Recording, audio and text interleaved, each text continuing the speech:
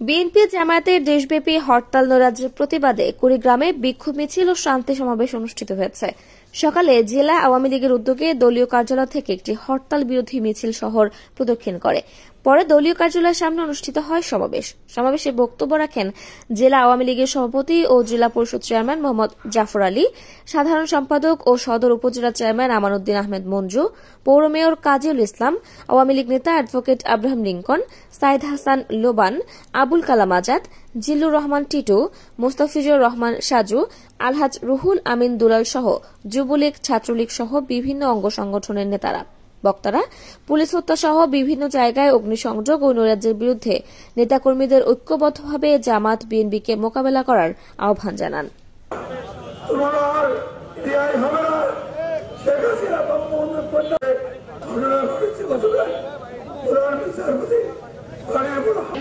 লক্ষ লক্ষ নেতা কর্মী আওয়ামী লীগের নেতা কর্মীকে সেদিন গ্রেপ্তার করা হয়েছে।